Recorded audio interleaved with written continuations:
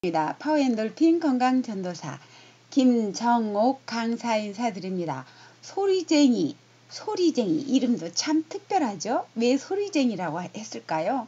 바람이 불면 막 소리가 난다고 합니다. 그래서 소리쟁이라고 이름을 지었다고 합니다. 소리쟁이가 그렇게 효능이 좋다고 합니다. 놀라운 효능이 있어요. 그런데 어, 바로 우리 집 뒤에 이렇게 잣나무 밑에가 많이 있는데 그거를 몰라서 못 먹었는데 아 그걸 배고 너무 좋아가지고 근데 그것이 꼭 소리쟁이 같은데 아닌 것 같은 거예요. 그래서 제가 실시간으로 어제 오후에 캐로 가가지고 아 도저히 아닌 것 같은데 아 맞아 유튜브 구독자님들에게 한번 물어봐야 되겠다 그래갖고 실시간으로 제가 이거를 올렸습니다. 그랬더니 아, 다 소리쟁이라고 된장국 끓여 먹으면 너무너무 맛있다고. 어, 이 시금치 된장국처럼 아주 맛있다고. 그래서 된장국을 끓이고 무침을 해봤습니다. 아, 그랬더니 그 맛이 어떤 맛이었을까요? 아, 지금 제가 막 해먹고 작업을 열심히 하고 있습니다. 어젯밤에 식초물에 30분 담궜다가 어, 아침에 이제 맹물로 씻어서 밤새 담궈 놨다가 아침에 했어요. 자, 여기 보세요. 제가 저렇게 뿌리까지 한번 캐 보려고 저 우리 남편한테 저걸 달라 그랬어요. 남편이 같이 가자니까 시간이 없다 그래갖고 혼자 갔었거든요. 어, 그래가지고 저걸로 캐는데, 아, 뿌리가 엄청 커요. 저게, 저게 몇 년 된 거, 된 거거든요. 해년마다 엄청 많이 나거든요. 또 저렇게 적은 거는 이제 제가 칼로 하고 하다가 저거 뿌리를 캘려다가 도저히 못 캐겠어요. 그걸로 아주 삽으로 하던가 해야 되겠더라고. 그래서 이, 이파리 막 칼로 예, 잘라가지고 왔는데 저렇게 아주 부드럽고 연해요. 지금이 적기예요. 된장국, 나물 무치는 채적기. 아주 부드럽게 생겼어요. 근데 겉에가 저렇게 꼬불꼬불 약간 생겨서 민자로 된 것 같았었거든요. 제가 볼 때는. 그런데 저것도 다 소리쟁이라고 하더라고요. 그래서 너무너무 감사합니다.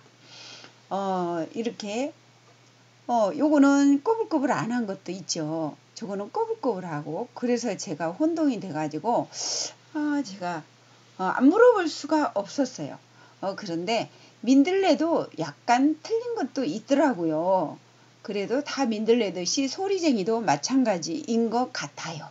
그래서 제가 이제 저걸 씻어갖고 어, 식초물에 한 30분 담궈서 식초 한 소주잔으로 반 컵 정도 다, 예, 해가지고 담궈가지고 어, 깨끗이 헹궈서 하루 저녁 담궜습니다. 왜냐하면 중금속이 있을 수, 있으니까.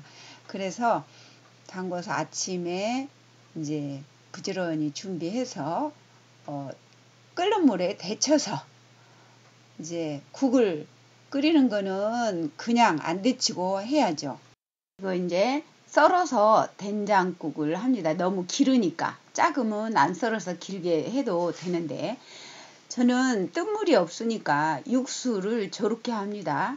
어, 천연 조미로 제가 만든 거 하고 된장만 넣고 해도 아주 맛있거든요.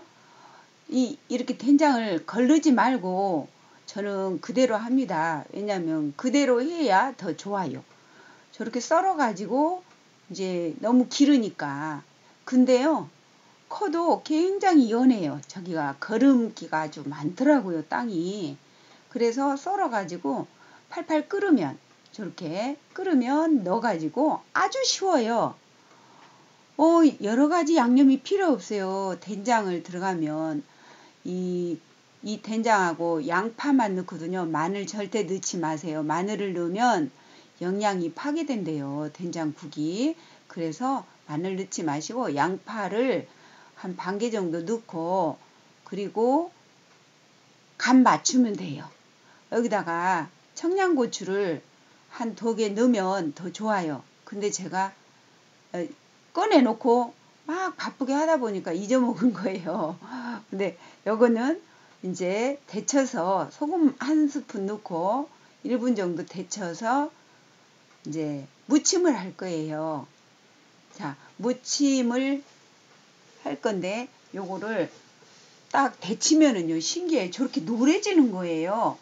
오래 안 데쳤는데 그런데 쓴바기를 제가 거기서 하나 캐서 같이 이렇게 했거든요. 보세요. 쓴바기가 약 쓴바기는 노랗지가 않죠. 파랗죠. 저렇게. 어, 근데 소리쟁이는 노래 지는 거예요.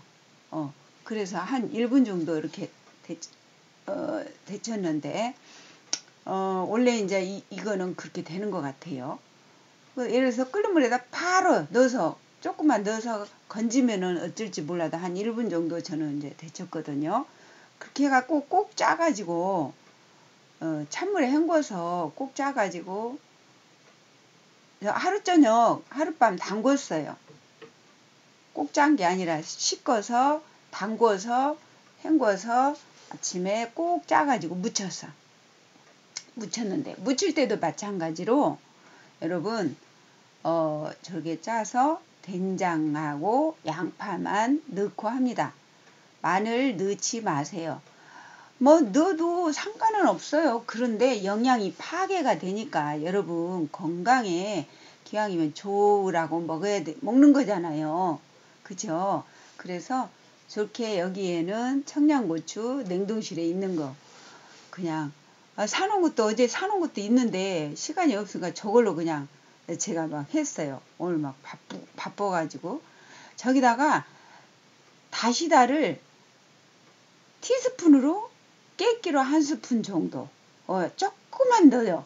그러면 맛이 너무너무 더 좋거든요. 안 넣어도 맛이 있어요. 그런데 어, 저거를 조금 이용해 보면 좋을 것 같아요. 그리고 들기름을 어, 한 작은 스푼 정도 넣어서 묻혀서 먹습니다. 제가 두번 무칠 거 이렇게 한번 무칠 건 남겨놨거든요. 그리고 한 접시 분량만 묻혔어요. 제가 이제 실험을 해보려고. 근데 너무 맛있더라고요. 어, 요거 이제, 어, 먹으면 한 번 더 이제 무쳐 먹을 거예요. 여러분, 진짜 막 괜찮아요. 그리고 국이, 소리쟁이 된장국이 시금치국, 진짜, 어, 구독자님이 그러시더라고요. 시금치국하고 비슷하다고. 아주 부드럽고 정말 맛이 괜찮아요. 새, 새콤한 맛은 0.1mm 정도 납니다. 건강에 아주 좋아요. 면역력도 좋아지고 그리고 염증도 제거해주고 다음에 효능에 대해서 자세하게 제가 공부해 갖고 올려드릴게요. 좋아요, 구독 꾹 누르시고 여러분 김정옥 엘빈 건강 TV와 함께 항상 웃으면서 건강하게 행복하게 우리 살자고요. 아셨죠?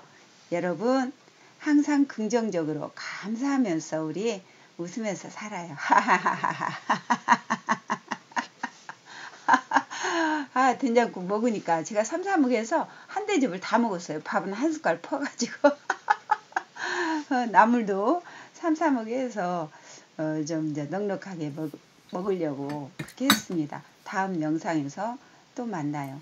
제가 이제 민들레 김치하고도 같이 이제 개운하게 네. 같이 한 번씩 먹으니까 네. 더욱더 맛이 좋죠. 민들레, 네, 민들레 김치. 김치도 먹고 있습니다. 감사합니다. 사랑합니다.